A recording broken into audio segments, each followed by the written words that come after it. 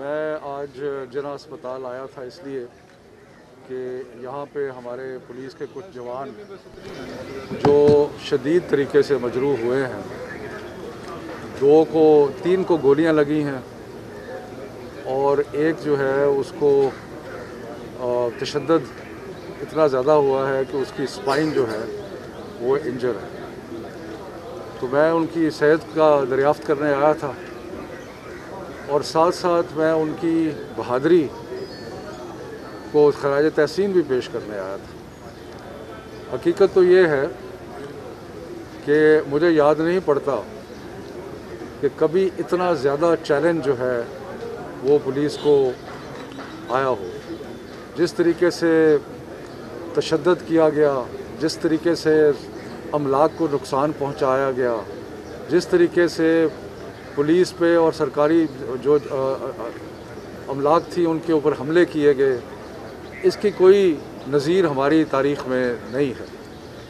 और जिस बहादरी से और मेहनत से और एक एक जज्बे के तहत पुलिस ने इस बदमनी का मुकाबला किया, वो काबिल तहसीन है। और 600 से ज़्यादा पुलिस के नौजवान जो थे, वो इंजर्ड हैं 600 से ज़्यादा। ये भी कभी आज से पहले कभी नहीं हुआ। और कुछ शहादतें भी हुई हैं। तो और ये बिल्कुल अपने ही मुल्क में हम सब नामूस रसालत के लिए, कट मरने के लिए तैयार हैं। प्राइम मिनिस्टर इमरान खान ने जिस तरीके से अकवा मुतहदा में आवाज़ उठाई।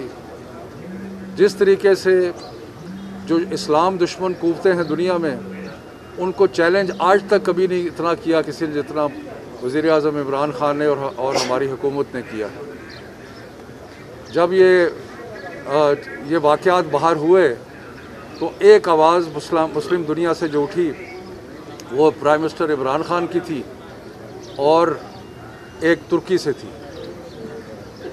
तो इसलिए एक ऐसा मुल्क और एक ऐसी हुकूमत जो रसूल पाक सल्लल्लाहु अलैहि वसल्लम के ऊपर जान छिड़कती है और जो उसके लिए आवाज़ बुलंद कर रही है, जो उसके लिए अकवाम आलम को आश्कार करा रही है कि ये इस्लाम दुश्मन रवैये जो हैं नहीं चलेंगे। तो उस हुकूमत के और उस वक्त अप, अपने शहरीों को तकलीफ़ देना अपने आ, अपने ही मुल्क को नुकसान पहुंचाना अपने अमलाक को नुकसान पहुंचाना ये बिल्कुल आ, ये बिल्कुल गलत था काम था और ये ऐसा काम था जो मुल्क दुश्मनी और बगावत के ज़ुमरे में आता है। मामला सारे के सारे मुजाकरात से हल हो सकते हैं और मुजाकरात जारी थे। लेकिन इस तरीके से तशद का रास्ता अपनाना वो बिल्कुल आ, उसकी कोई जस्टिफिकेशन नहीं थी। आ, मेरे साथ अस्पताल के डॉक्टर साहबान भी खड़े हैं जिन्होंने बड़ी मेहनत से ट्रीटमेंट कर रहे हैं। तो ये हमारा सबका अपना मुल्क है। हमने इसकी बेहतरी के लिए मिलजुल के काम करना है। अपनी ही अगर हम अमलाक को जलाएँगे अपने ही अमलाक को नुकसान पहुंचाएँगे तो जो पाकिस्तान जो जो इस्लाम दुश्मन कूदते दुनिया में हैं उनको क्या फ़र्क पड़ता है? वो तो अपनी इस्लाम दुश्मन दुश्मनी फैलाते रहेंगे और हम अपने आप को नुकसान पहुंचाते रहेंगे। और ये ये बिल्कुल आ, बिल्कुल कब, कबूल नहीं है। और रियासत की ये ज़िम्मेदारी है कि वो अमन अमान को बहाल रखे और इस इंसिडेंट में मैं फिर खराज तहसीन पर पेश करता हूँ पुलिस को जिन्होंने अमन अमान बहाल करने में एक बहादरी से और जाँफशानी से काम किया। और वो जो हमारे अपने भाई बहनें वो लोग जो आ, देख रहे हैं कि ये क्या हो रहा है उनको भी समझ आ रही है कि ये कोई जो भी हुआ ये को पाकिस्तान की बेहतरी के लिए नहीं हुआ। जो भी हुआ पाकिस्तान को उससे उसका नुकसान पहुँचा। और मैं सबको ये कहता हूँ कि हुकूमत के हाथ मज़बूत करें ताकि हम इस्लाम दुश्मन कुवतों से दुनिया में जो हैं उनसे मुकाबला कर सकें। और इमरान खान एक एक वाहिद वज़ी अजम है दुनिया मुस्लिम दुनिया में जो आगे बढ़ के आ, इस चीज़ का मुकाबला कर रहे हैं। तो आइए सब मिल के इसका मुकाबला करें। मुझे ये बताएँ जारी तो फिर अचानक से ऑपरेशन कैसे हुआ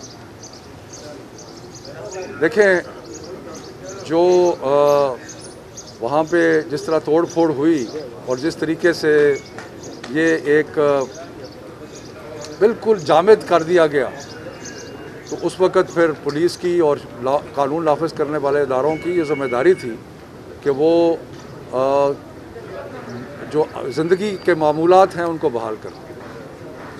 मनोर साहब ये बताइएगा कि जिन दो वज़ीर दाखिला ने पहले उनसे मुआहदा किया कि फ्रांस के सफीर को बाहर निकाल देंगे, क्या उनकी गलती नहीं आप समझते कि है? अगर उनको लड़ाई लगाना था या उनको आगे एक्सटेंड करना था कोई और बात कर ली जाती।